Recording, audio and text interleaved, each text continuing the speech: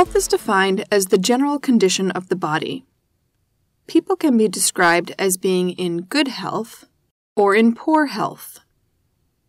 Good health involves the condition of being sound in body, mind, or spirit, especially being free of disease or pain. Health can be envisioned as a model called the health triangle.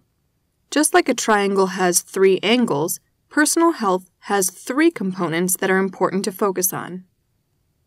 The three angles of the health triangle are physical health, social health, and mental or emotional health. In order to maintain overall good health and well being, it is important to promote healthy activities and good choices in all three areas. Some activities might fall closer to one area of the health triangle than others, while some activities might seem to fit into more than one category depending on how you view it. Let's look at a few specific examples of activities and where they might fall on the health triangle. Exercises like jogging, swimming, or bike riding belong in the physical health area of the health triangle.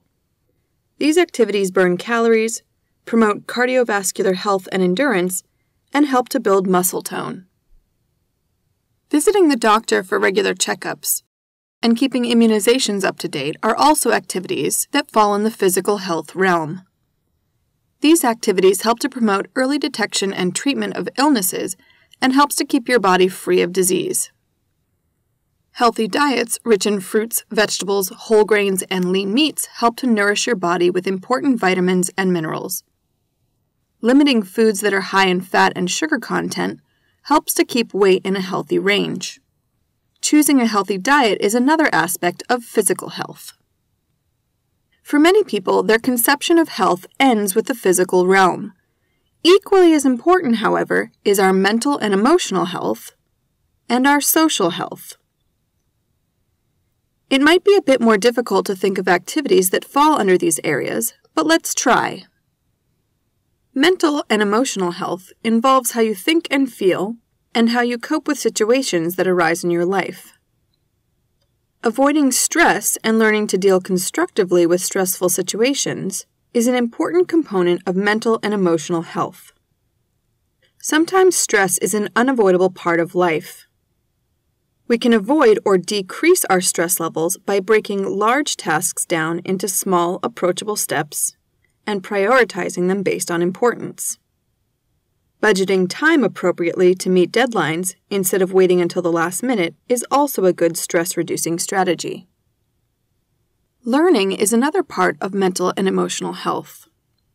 Reading, playing mind games or puzzles, and learning new things inside and outside of school all fall under the mental health category.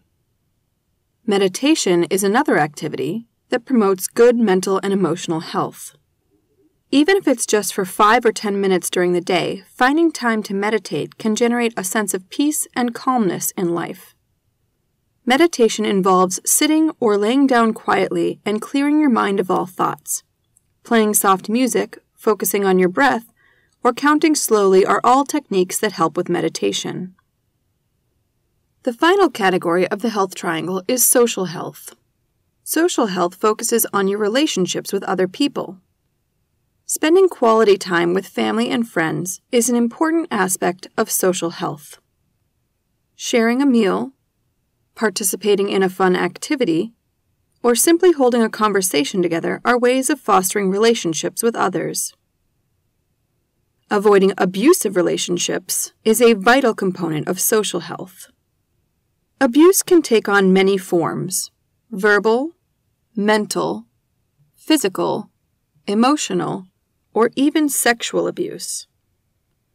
Sometimes it can be very difficult to break away from abusive relationships, especially if the abuse is coming from a family member, close friend, or a boyfriend or girlfriend. Talking to an adult that you trust can help pave the way out if you have trouble cutting ties on your own.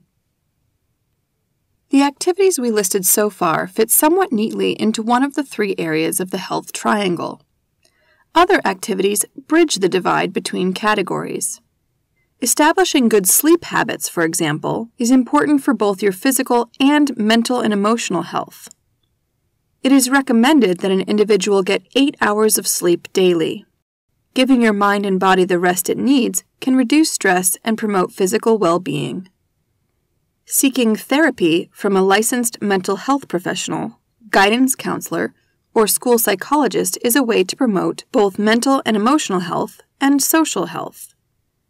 Attending counseling sessions can help alleviate anxiety caused by stressful or unhappy situations in life.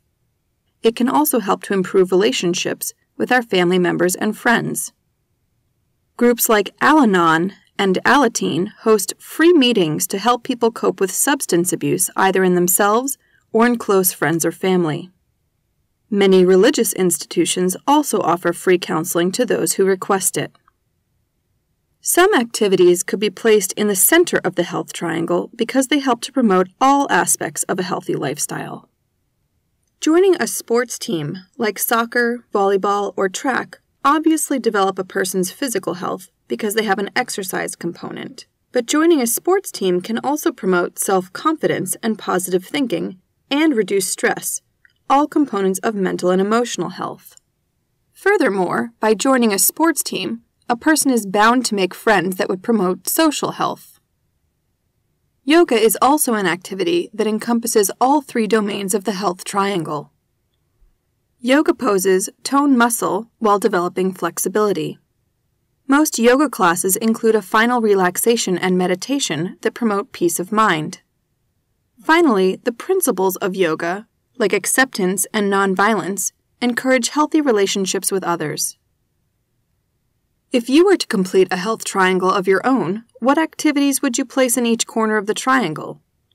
Would your triangle seem balanced? What activities could you add to your lifestyle in order to improve your overall health and make your triangle more balanced?